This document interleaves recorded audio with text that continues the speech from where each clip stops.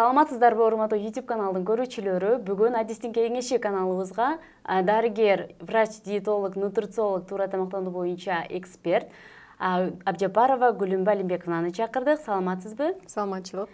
Биз бүгүн туура тамактануу боюнча маек алабыз. Бүгүн өзүңүздүн ишиңиз тууралуу айтып кетсеңиз алгач. Мен дарыгер диетолог нутрициолог он сегиз жылдык тажрыйбам бар. Учурда бишкек шаарындагы элит клиник медициналык клиниканы жетектейм. Онлайн жана оффлайн форматта ашыкча салмак менен жабыркаган ошондой эле туура тамактанууга кызыккан айымдар менен иштешип келатабыз. Сизге кайрылгандардын көпчүлүгү кандай көйгөйлөр менен кайрылышат? Учурда ашыкча салмак чындыгында эпидемияга айлангандыктан эң көп масса бул албетте ашыкча салмак менен жабыркаган айымдар. Жана албетте бизди кубандырганы туура тамактанууга өтөм деген айымдардын саны аябай көп. Туура тамактанганга кызыккан дагы айымдар бизде учурда көп эмес. Аз эмес көп эмес деп салдым го. Ашыкча салмакты медицинада бир оору катары айтып дагы келишет да а бизде ошол нерсени кандай кабыл алышат? Ожирение боюнча. Аябай сонун суроо бердиңиз. Негизи ашыкча салмак бул чындыгында оору да. Анан учурда бул пандемияга айлангандыктан көпчүлүк ошол ашыкча салмакты оору катары эмес. Жөн эле мындай фигурасы үчүн же сулуулук үчүн инструмент катары эле карап калды да. Бирок ошол ашыкча салмактын артында канча көйгөй жатат? Ошол ашыкча салмак чындыгында оору ошол оорунун артынан кандай оорулар келетке? Көпчүлүк негедир көңүл бурбайт. Бул жөнүндө статистика айтып турат. Учурда марафондор интернет булактарында аябай көп. Анан ошол ашыкча салмак көйгөйгө айланганда эле албетте арыктагысы келген айымдар тилекке каршы адистерди эмес арыктатуучу каражаттарды туура эмес адистиги жок эле мисалы окуган билими жок эле диетологторду тандашып өздөрүнүн ден соолугун тобокелдикке салгандыгы бизди аябай өкүнтөт арыктатуучу каражаттар тууралуу айтып кеттиңиз. Мен өзүм мага ага муктаж болбогондуктан ал нерсеге көп кызыкпай ага көзүм көрүнбөй жүрчү экен да. Азыр алардын түрү дагы көп экенин байкадым ага кызыккандар дагы көп экенин көрүп калдым. Азыр арыктатуучу каражаттардын ден соолукка тийгизген таасири боюнча дагы айтып кетсеңиз. Бул аябай чындыгында чоң көйгөй эң башында эле айтып кетсек болот жүз пайыз кепилдик менен эч кандай арыктатуучу каражат ушул убакка чейин чыга элек. Албетте коопсуз биз коопсуз арыктатуучу каражаттар жөнүндө сүйлөшүп атабыз. Учурда эч кандай арыктатуучу коопсуз каражат жок. Бирок ашыкча салмак дүйнөлүк масштабтагы пандемияга айлангандыктан албетте бети калың деп койсок болот. Өндүрүүчүлөр адамдын көйгөйүнөн өздөрүнө мындай акчалай кандайдыр бир выгода издегендер. Албетте муну акча чыгаруу максатында аябай көп дарыларды чыгарып салышты да. Анан тилекке каршы биздин учурдагы айымдарыбыз аргасыздыктан десек да болот балким билимсиздиктен ошол каражаттарды колдонуп келатышат. Чындыгында булардын зыяндуулугу аябай көп. Негизи ашыкча салмактын эки эле себеби бар да. Биринчиси мисалы аз кыймылдуулук. Экинчиси бул туура эмес тамактануу. Эгер жалпак тил менен түшүндүрө турган болсок мисалы миң сом каражат мага керек. Миң сом каражатты алып мен ошону миң сомду сарптасам менин расходум толук жабылат да. Бирок ашыкча салмакта кандай биз миң сомдук тамакты жеп алып туруп жүз сомдук эле кайра берип атабыз да ошондо тогуз жүз менде калып калып атпайбы ошол килокалория ашыкча салмак болуп чогулат да. Ал эми ошол көйгөйдү таблетка аркылуу чечем деп аппетитти бууйт да ал дарылар чындыгында эле арыктайт ал дары өзүнүн психотропный действиясын берет психотропный деген мээ аркылуу да бул тоюу сезимди пайда кылат анан адам албетте ошол жанагы миң сомду айтпадымбы салыштырып э ошол тамак жегиси келбей калат анан чындыгында тамак жебесе адам арыктайт бирок убакыт өткөн сайын чындыгында натыйжа болот бирок кийин ойгонуп тамак жейт элем деп же жакындары байкап мисалы ай сен өтө арыктап кеттиң кел эми бүгүндөн токтот эми ал ичкениңди деп уже өзүнө келтирейин дегенде кеч болот. Натыйжада анорексия деген оорулар пайда болот да. Анорексия бул толугу менен тамактан баш тартуу. Тамакты жемек турсун эстегенде адам кусат. Анан бара бара аны уже реанимацияга жаткырып капельницалар аркылуу азыктандырып калат. Бул ошол зыяндуу таблеткалардын эң чоң касиети десек болот. Арыктатуучу каражаттарды мындай канча жаштагылар ичет деп эми сиз өзүңүз билет болушуңуз керек. Канча жаштагылар көбүрөөк барат же баардыгы эле возрасттагы жаш куракка таасирин тийгизбейби? Тилекке каршы учурда ашыкча салмак жаш балдарды деле мындай проблема катары чыгып калды десек болот. Бул ашыкча салмак балдар контингентинде үй бүлөдөгү тамактануу маданиятына көз каранды да. Кээ биркилер мисалы баланын аппетити бар жок кичинекейден баштап эле керек керексиз тамактарды берип семиртет э каалабаса дагы ошондой болуп калат да бала ток жүрүш керек коркутуп үркүтүп тамак жедирет айтор ошентип ашыкча салмакка келет. Кээ бирки учурларда жаш балдар өзүнүн чөйрөсүнө жараша классташтары мисалы сэндвич жейт күндө мен да сэндвич жешим керек деп айтор ошентип туура эмес фаст фуддардын натыйжасында ашыкча салмак алып алат. Зыяндуу каражат деги эле мындай көйгөй катары өспүрүмдөр бир он эки жаштан баштап кайрылып башташат да. Анан эми калган арыктоону ата энесине көз каранды десек болот. Эгерде ата энеси чындыгында мындай билимдүү болсо баласынын ден соолугуна кам көрсө албетте алар дарыгерлерге кайрылат. Ал эми билимсиз болсо эчтекени билбей мисалы же э, кайдыгердик болобу айтор анда арыктатуучу каражаттарга деле барат. Анан программа белгисиз эле болгон мисалы адис эмес псевдодиетологторго барат десек болот сиз жана туура тамактанууну колдогондор көбөйүп жатат өтүүгө өткөндөр дагы байкалууда деп айтып кеттиңиз. Ошол ошолор боюнча айтып кетсеңиз эми туура тамактанууга дени сак адамдар дагы келип атабы дени сак адамга дагы туура тамактануу керек экенини өзү сезип эме баштагандар туурабы аябай жакшы суроо. Бизди аябай кубантканы учурдагы жаштар э аябай илимдүү билимдүү болуп өнүгүп атышат өнүгүп атат деп биз э, көрүп атабыз. Ошолор ашыкча салмакты күтпөй эле ден соолугундагы көйгөйлөрдү күтпөй эле чет жактагы ашыкча салмак бизге четтен келбедиби ал жакта уже туура тамактануу дагы тренд болуп атат мода болуп атат анан ден соолукка дагы уже өзүнүн жакшы нерселерин көргөзүп атат да туура тамактануу. Ошого жаш поколение учурда туура тамактанууну уже баштады десек болот да анткени алар билимдүү анан кийинки андан чоңураак поколениядагылар мисалы биз курактуу бизден бир аз жашыраактар балким бир аз улуурактар өзүнүн ден соолугунда көйгөй пайда болгондуктан кайрылууда туура тамактануу бизге ашыкча салмакты алдын алыш үчүн эле керек эмес да. Туура тамактануу бизге мисалы сапаттуу жашоо үчүн керек. Көптөгөн жүрөк кан тамыр ооруларды алдын алыш үчүн керек. Мисалы жаман сахарный диабет давление же зат алмашуунун ооруларын алдын алыш үчүн керек да. Эгерде биз канчалык деңгээлде эрте көзүбүздү ачып туура тамактанууга өтсөк демек биз көп ооруларды алдын алабыз. Анан биздин жашоо сапатыбыз дагы жакшырат.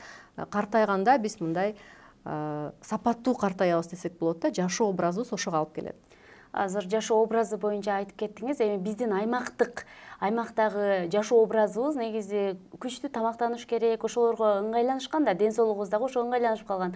А дүйнөлүк трендтерди алсак алар көбүнчө жашылчаларды гана жеш керек болуп э, болгону көрүнөт. Анан биздин азыркы э, жашоо образыбыз менен туура тамактанууну кантип айкалыштырсак болот албетте биздин мисалы кыргыздарды айта турган болсок биздин тамактануубузда көбүнчө углеводдор көп болуп калат да. Анан майлуу тамактарды биз көп жейбиз анан өкүнүчтүүсү десек да болот эми кубандыруучу десек да болот бизде карым катнаш той топур аябай көп.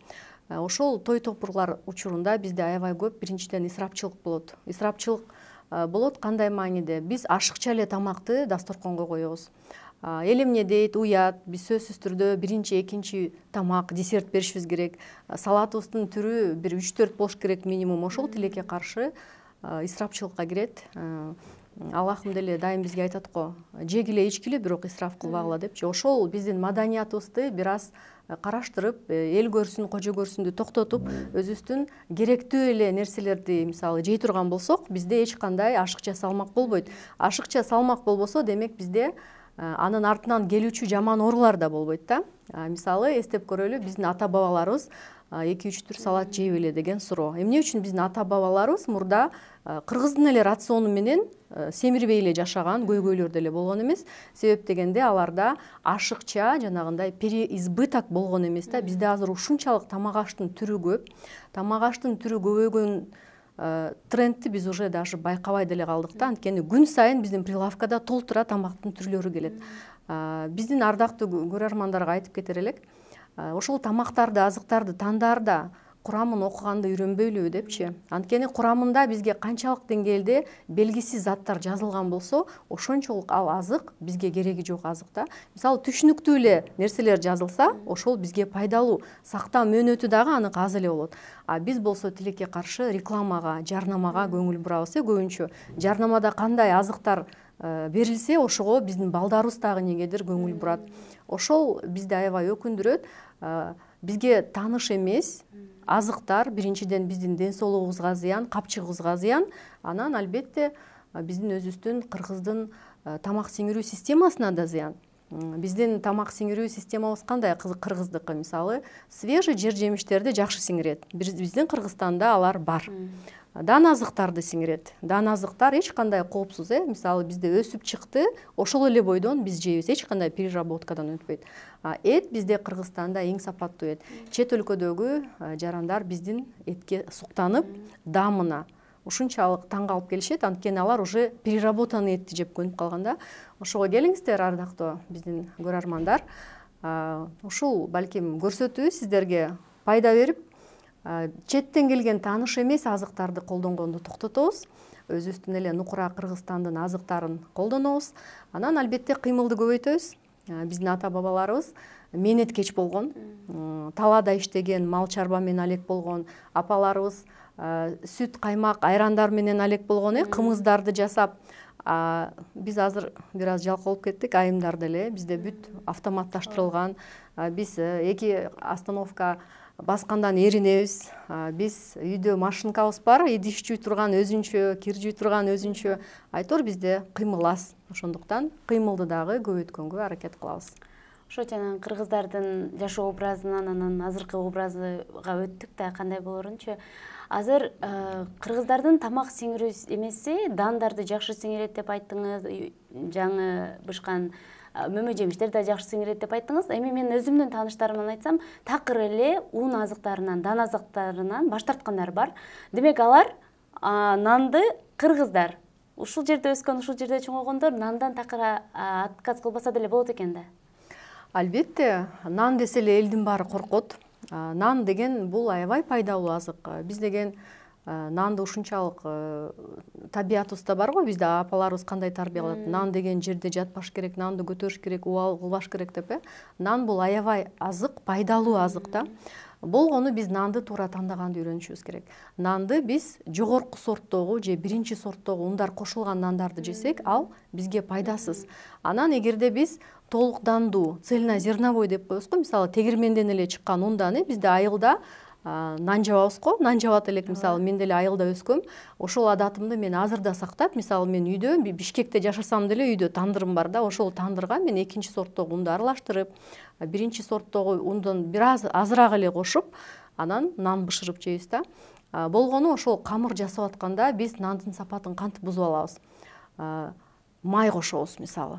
Маргарин кошобуз. Майдын дагы пайдалуусу бар. Мисалы анан зыяндуусу бар. Мисалы маргарин бул аябай зыяндуу анан э, майлуу мисалы сүттөрдү кошобуз. Ошентип э, курамына таттууларды кошобуз. Ошентип эле нандын сапатын биз өзүбүз бузуп алабыз да. А эгерде нукура ошол биз айткандай толук дандуу ундан экинчи сорттон мисалы көбүрөөк аралаштырып өзүбүз эле үй шартында жакшы нан жасап жей турган болсок бул сложный углевод аябай ден соолукка пайдалуу. Анан өлчөмүн билиш керек. Нан жейт десе эле кээ биркилер мисалы эртеден кечке чейин нан жеши мүмкүн э? Эгерде норма менен нанды мисалы өзүнүн нормасы менен жанына сөзсүз түрдө белок коюп жанына свежий салат коюп аралаштырып жесе бул албетте пайдалуу. Учурда азыр марафондордун да түрү көбөйүп кетти. Салмак таштоо боюнча марафондорду салмак таштоо боюнча адистерди кантип тандап программаны кантип туура тандаш керек аябай актуалдуу суроо болду. Анткени азыр инстаграмда эмне көп? Биринчи эле көйгөйгө жараша э, решение көп э марафон өткөрөм. Э, керек болсо үч күн бекер өткөрүп берем. Анан эки жүз сомдон өткөрөм анан беш жүз сомдон өткөрөм деген марафондор аябай көп. Биринчиден ошол марафонду тандоодо урматтуу биздин көрөрмандар сөзсүз ошол марафондун автору ким экенин биз билишибиз керек. Кандай методика менен арыктатат? Анан албетте тажрыйбасына көңүл бурушубуз керек да? Тажрыйбасы барбы арыктоодо? Инстаграм баракчасын бир сыйра карап отзывдарды окуп кандай результаттар болду? Анан программага катталдык балким э катталгандан кийин ошол программа менен сиз арыктап баштаган учурда сөзсүз түрдө байкашыңыз керек. Ал программа сизге комфорттуу болуп атабы эгерде мисалы сизде ачкачылык болсо же ошого мисалы курсагыңыз тойбой аткан болсо кандайдыр бир стресске дуушар болуп атсаңыз именно ошол тамактанып атып да демек ал программа туура эмес. Организм стресс болгон учурда эч качан арыктай албайт. Мисалы элестетиңиз э, марафондо курсагыңызды тойгозбой эле мисалы айтып атат. Сиз чала тоюп турушуңуз керек э? Мисалы айтат го арыктап атканда сиз чала тоюп ашказаныңыз жарым эле тоюш керек деп бул кандай э, арыктоо болот? Эгерде адам курсагы тойбой эле туруп кетет дасторкондон мисалы. Бир күн ошондой кылат эки күн ошондой кылат үчүнчү күнү аны таштап салат потому что биз кантип эле чала тоюп туруп кетебиз. Же мисалы күнүнө эки ирет тамактануу анда да бизге болбойт. Биз деген курсагыбыз ток болгондо тамак жөнүндө ойлобойбуз да. Марафонду тандаарда ошого сөзсүз көңүл буруш керек.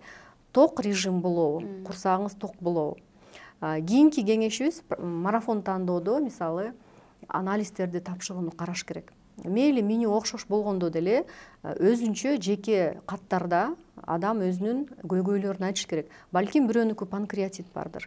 Балким бирөөнүкү кандайдыр бир гормоналдык дисбаланс бардыр. Кээ бирки учурлар болот такыр арыктоого учурда болбойт да ошол ооруну айыктырып туруп гана анан арыкташ керек. А ошолордун баардыгын дарыгер гана айта алат да. Анан мисалы бирөө аябай мисалы бир аял э айталы аябай арыктагысы келип жүрөт бирок учурда кандайдыр бир оорусу бар ошол ооруну аныктабай туруп эле арыктоону баштай турган болсо ал мисалы намыс үчүн арыкташы мүмкүн ал жана өжөрлүгү үчүн арыкташы мүмкүн. Бирок арыктагандын дагы эртең болот да. Биз жанагы долгосрочный результатка ориентир алышыбыз керек да. Мисалы биз бир айда эле ушунча таштап койдук ал маанилүү эмес. Бизде натыйжа кандай болду? Кийин салмакты кошуп алабызбы же кошуп албайбызбы ошол маанилүү болуш керек. Анан ошол айымдар программадагы өзүнүн ден соолугуна тургалаш керек да мисалы кийинки өзгөчөлүк программада ошол эле мисалы сетевой маркетингдин дарылары колдонобу же колдонбойбу. Арыктоо тилекке каршы азыр трендке айланып көп эле марафондордо бизге кыздар айтып жазышат да. Катталарда эже сиз өзүңүз мисалы сетевойдун дарыларын сатпайсызбы мисалы тазаланууга мындай дарыларды сатпайсызбы? Жок ошондой сетевой маркетингдин дарыларына биз каршыбыз. Ал дарылар Э, сөзсүз түрдө көзөмөлдөө дарыгер аркылуу гана э, жазылыш керек да ар бирине индивидуалдуу түрдө балким ал дарылар ага кереги жок балким тескерисинче дефицити бар. Анын баардыгы анализде гана билинет да. Анан чындыгында туура тамактануу аркылуу гана арыктаса болот эч кандай э, каражаты жок эч кандай сетевой маркетингдин дарыларын кымбат албай эле туура тамактанууну эле ишке ашырып арыктаса болот азыр гречка кефир же суу менен гана тамактанып бир эле рацион менен салмак таштагандарды дагы угуп жүрөбүз. Ошолор боюнча айтып кетсеңиз анын кесепети деле болуш керек. Албетте бир эле тамак менен арыктоо туура эмес. Монодиета деп коебуз муну бул аябай актуалдуу десек болот. Көп айымдардын түшүнүгүндө бар да. Мен э, тойго барам эки жумадан кийин менде той. Демек мен срочно кефирге отурушум керек э? Же срочно мен гречкага отурушум керек деген түшүнүк бар. Бирок ал тилекке каршы туура эмес себеп дегенде гречка бул эмне бул болгону бир э, дан азык кефир бул эмне бул өзүнчө эле болгон бир азык да бирок организм ага тойбойт. Ал стресске дуушар болот. Мисалы ал гречканы бир күн жесе болот. Албетте салмак кетет. Анткени ичине эчтеке гречкадан башка түшкөн жок да. Ал болгону ичеги кардын эле бошоткон болуп саналат да. Анан эки күн отурду үч күн отурду төртүнчү күнү албетте срывке дуушар болду. Бирок баягы эле өжөрлөнүп же намыстанып мен арыкташым керек деп болбой кезерип бир эки жума отурган балким бир айлап отургандар дагы бар да. Бизде ошондой айымдар суроо беришет булар тилекке каршы ооруга да чалдыгып калышы мүмкүн э, ичек карын тамак сиңирүү органдары иштен чыгышы мүмкүн э, иммунитет түшүп кетиши мүмкүн бизде салмак таштаганда программанын жакшы экенин кантип билебиз мисалы минус жыйырма килограмм кетти бирок ден соолук жакшырды ал эми бул учурда минус мисалы бир жумада беш килограмм кетти бирок ден соолук эмне болду? Мисалы чач түшүп баштады мурда такыр ооручу маселе иммунитети түштү териси кургап баштады бети брыш басып кетти. Айтор бул кыска мөөнөттүү арыктоо артынан кайра ден соолуктун бузуусуна алып келет жана салмакты кайра кайтарууну толугу менен камсыз кылат да. Беш килограмм салмакты тойго таштадыңыз бирок той бүткөндөн кийин тойдо сөзсүз сиз тамак жейсиз. Анан кийин өзүңүздүн мурдагы э, жеп жүргөн эле тамагыңызга отурасыз бирок организм стресс болгондуктан кайра салмакты ашыгуу менен кошуп алышы мүмкүн сиздин иш тажрыйбаңызда туура эмес арыктап алдым деп кайрылгандар барбы? Аларга кандай жардам бере аласыз эгер бар болсо? Албетте бизге аябай көп айымдар кайрылат. Өзгөчө башка марафондордон көңүлү калган арыктоодон көңүлү калган айымдар көп кайрылат да. Эң биринчи себеби бул ачкачылык менен арыктоо э. Ачкачылык мен марафондо ачка болдум. Ошо ачка болгондун натыйжасында мен тез салмак таштап алдым бирок ошону менен кошо жанагы бетим тырышып кетти чачым түшүп иммунитетимди бузуп алдым деген айымдар бар. Аларга биз кантип жардам беребиз? Биз программабызга каттап сөзсүз анализден өткөрөбүз. Э, учурдагы э, денесинде кандай көйгөйлөр бар ден соолугунда ошону аныктайбыз ошонун үстүнөн кошумча дарыгер катары иштейбиз. Кошумча дарыканадан эле сатылган дарыларды жазабыз индивидуалдуу түрдө. Ал эми рациондон биз беш ирет тамактанууну сунуштайбыз биздин рациондо беш маал тамактануу тоё тамактануу жанагындай чала тамактануу бизде жок. Анткени адам чала тоюк турганда көңүлүнүн баары тамакта болот да оюнун баары тамакта болот. Мындай иштей албайт. Ал адам башка нерсе жөнүндө да ойлой албайт да. Ошого биз ага беш ирет тамактанууну сунуштап курсагын тойгузобуз да. Кийинки категориядагы мисалы арыктаган айымдар баягы эле дары ичип алган айымдар. Дары ичкен айымдар албетте арыктап натыйжа алышат. Бирок алар башка көйгөйлөргө дуушар болушат да. Мисалы женский жактан выкидышке чейин барган учурлар болгон. Эже мен арыктаганмын ошондой зыяндуу дары ичкенмин. Балам ичинде замерший болуп калды мисалы. Аларга биз кандай кеңеш беребиз? Биз ошол каражатты сөзсүз түрдө биринчи токтотобуз. Анализден өткөрөбүз. Анализге өткөрүп анан керектүү дары дармектерди жазып определенный бир убакыт беребиз бир режимге отургузуп сиз азырынча арыктоону токтотуңуз. Азыр восстановление этабын өткөрүп туруп анан кайра арыктоого келсеңиз деп тазаланууга убакыт беребиз да. Тилекке каршы ал ичилген зыяндуу каражаттардын ар бир организмге өзүнчө терс таасирин тийгизет. Ал мөөнөткө да көз каранды да. Мисалы бирөө аны он эле күн ичти бирөө аны мисалы жарым жыл ичти. Ошого дагы көз каранды. Биз ичип аткан зыяндуу каражатын сөзсүз түрдө токтотобуз. Кийинки кайрылуулар мисалы гормоналдык дисбаланс менен кайрылат. Мен мисалы мурдагы марафондо такыр результат болгон жок башка жакта. Эмнеге себебин мен билбедим дейт.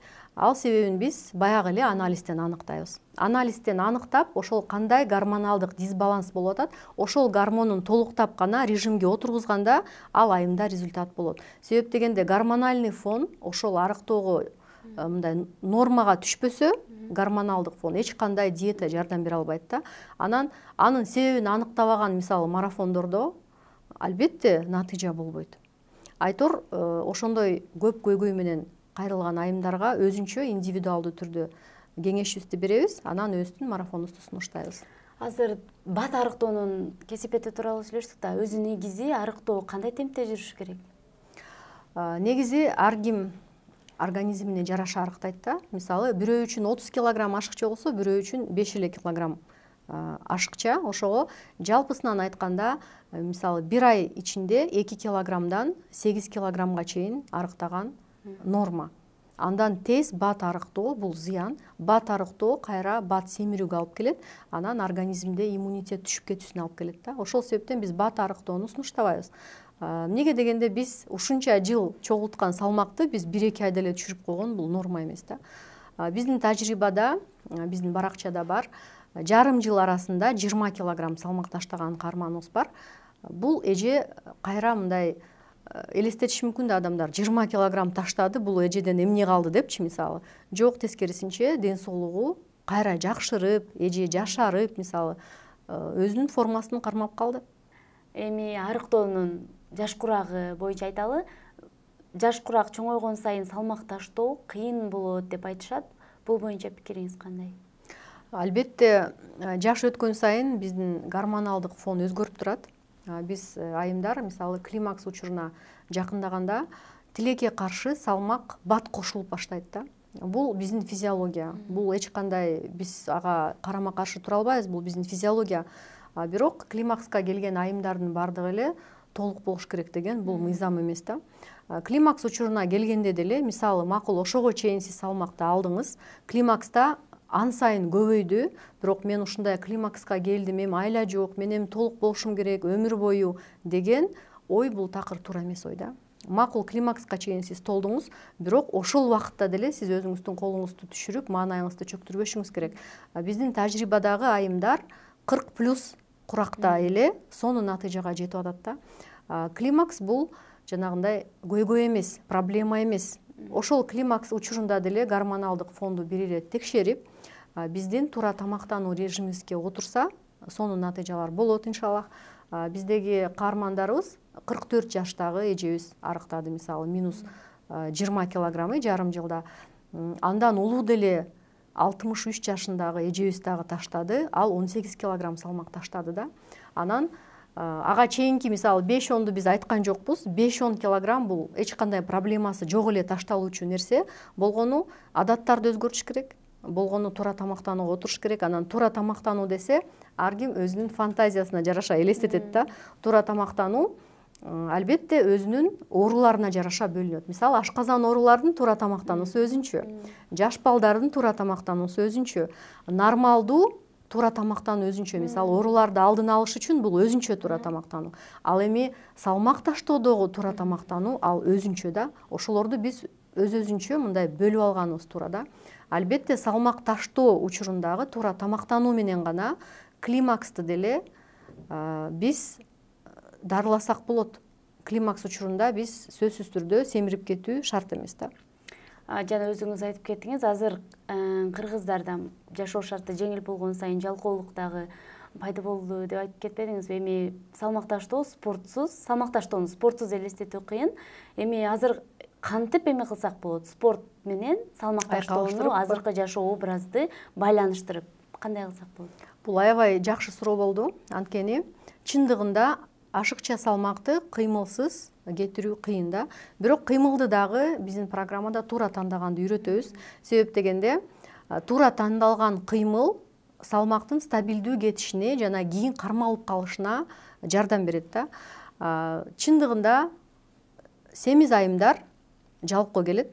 Чындыгында алар жашоо образы мындай активдүү эмес да. Алар эч качан спортсмен болгон эмес. Анан спортсмендер мисалы толук болобу албетте болбойт э. Спортсмендер мындай накачанный мышца болот алар эч качан толбойт эмнеге дегенде алар өмүр бою кыймылда болгон.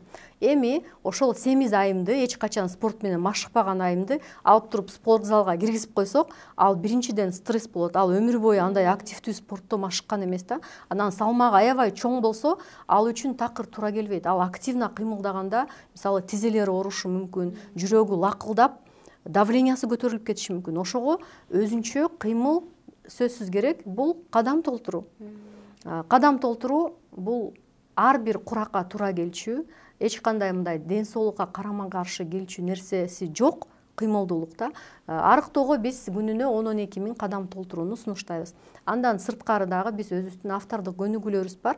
Марафондо биз ошол айымдарга беребиз ошол көнүгүүлөрдүчү. Анан дайыма айтып келебиз. Биздин программада айымдар эч кандай активдүү спорт жок. Силер ойлобоңуздар программага жазылып эле сөзсүз түрдө мен спорт залга барып катышышым керек. Жок биз вариант катары тренировкаларды беребиз. Ошолорду ошолордун арасынан дагы өзүнүн салмагына туура келгенин тандап алып ошону толтурушат жана кадам толтурушат. Башка эч кандай кыймылдуулук кереги жок. Себеп дегенде биринчиден жанагы элестетиңиз жүз килограммдык айымыбыз спорт залда өмүрү машыкпаган машыгып баштады. Жүрөгү дүкүлдөп муундары ооруп туура келген жок. Ошого биринчи ошондой активдүү макул кийин спортсмен болуп кетсин ал айым элүүгө түшкөндөчү мисалы элүү килограммга. Бирок ага чейин ичиндеги зат алмашууну нормага түшүрүш керек.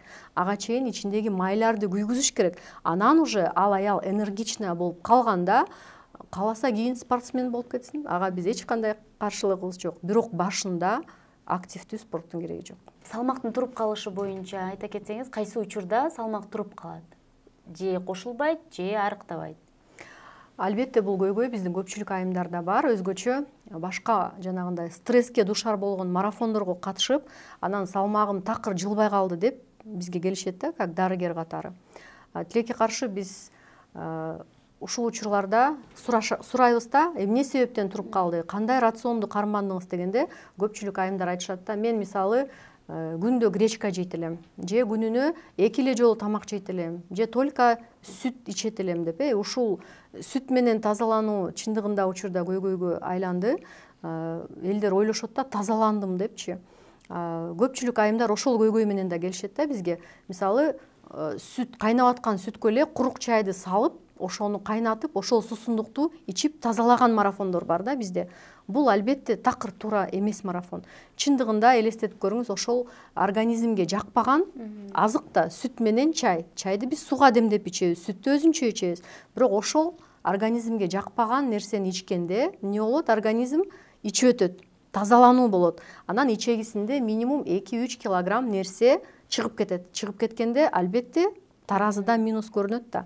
Анан бир күн тазаланат эки күн тазаланат үчүнчү күн уже организм калчылдап титиреп давлениясы түшүп э, ичи карды бурап ооруп ошондой проблемага дуушар болот анан бизге кайрылат эже мен деген үч күн жакшы вес таштадым эле ушундай эме менен таштагам бирок кийин весим туруп калды деп. Анан биз албетте айтабыз да бул тазалануу эмес бул ич өтүү.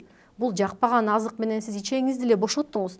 Бирок салмагыңыз каяка кетти? Ал үчүн аны токтотуңуз деп ошол режимден биз чыгарабыз. Беш маал тамактануу менен чыгарып анан организм стресс болбой ичи өтпөй калган учурда биз анан тамактануу менен бара бара арыктатып баштайбыз. Тилекке каршы андай көйгөйлөр дагы аябай көп. Вес негизи физиологияда тұрып қалады да бізде деле программа осыда мысалы вес тұрып қалады қашан тұрып қалады? Аялдардың айызы келгенде тұрып қалады. Бұл отечность бұл бара бара біздің программаменен қайра эле кетеді. Мысалы біз түсіндіреміз біздің арықтап жатқан қыздарға ә, стресс болдуңузбу кабатырланбаңыз ошо стрессиңиз бүткөндөн кийин сизде минус болот мысалы ұйқыңыз начар болдыбы ұйқыдан дағы тилекке каршы вес кошулат да.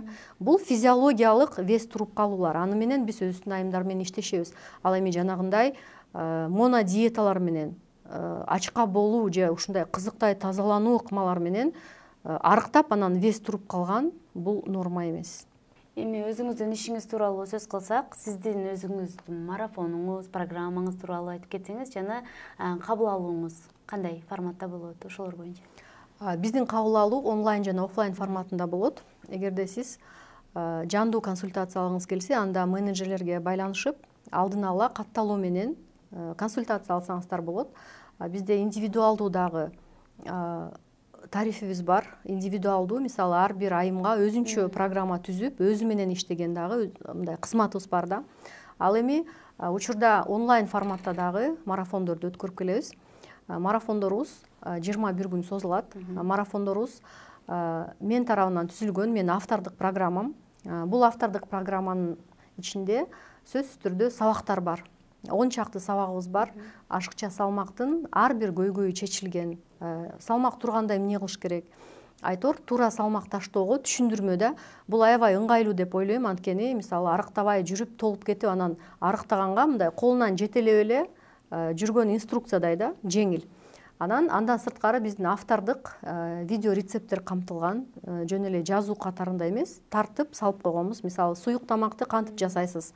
Салаттын кайсы түрлөрү э, керек болсо бизде таттуунун дагы рецепттери бар. Мисалы пирожный жеген торт жеген зыяндуу эмеспи ашыкча сахары бар. Ал эми бизде ошондой семирбес үчүн атайын канты жок курамында десерттер дагы камтылган.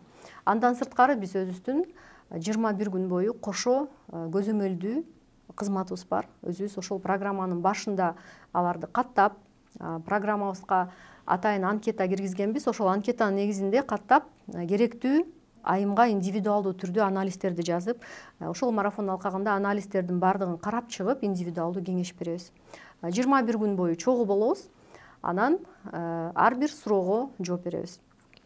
Менеджерлер Э, байланышта болуп турат. Жыйырма бир күн бою көзөмөл тариф э, баса белгилеп кетүүчү нерсе бизде эч кандай ачыкачылык сезим жок программада. Э, азыктар боюнча айтсак азыктар кыргызстанда эле өндүрүлгөн. Эгерде чет мамлекеттен катышып аткан болсоңуз эч кандай табуу боюнча татаалдыгы жок эле эң жөнөкөй азыктар. Ошону менен бирге биздин программада жанагы кыздар айтат го кемеге түшкөндүн жаны бир деп. Группада мотивация бири бирине берип туруучу маалыматтар мисалы бөлүшүп э ийгилиги менен мисалы мен бүгүн бир килограмм таштадым сен канча таштадың? деп айтор ошол мотивационный позитивный маанай биздин группада сакталат ошентип айымдарыбыз күн сайын салмакты ийгиликтүү ташташат мисалы салмак туруп калганда да биз айтабыз отчетун карап урматтуу мисалы айнура сизде салмак туруп калыптыр. Себеп дегенде сизде мисалы уйку начар болду же мындай кадамыңыз толбоду деп айтор жыйырма бир күн бою чогуу салмак таштаганды үйрөтөбүз. Жакшы. Урматтуу көрүүчүлөр бүгүн бизде конокто врач диетолог нутрициолог туура тамактануу боюнча эксперт абжапарова гүлүм алимбековна болду. Суроолоруңуздар болсо кайрылсаңыздар болот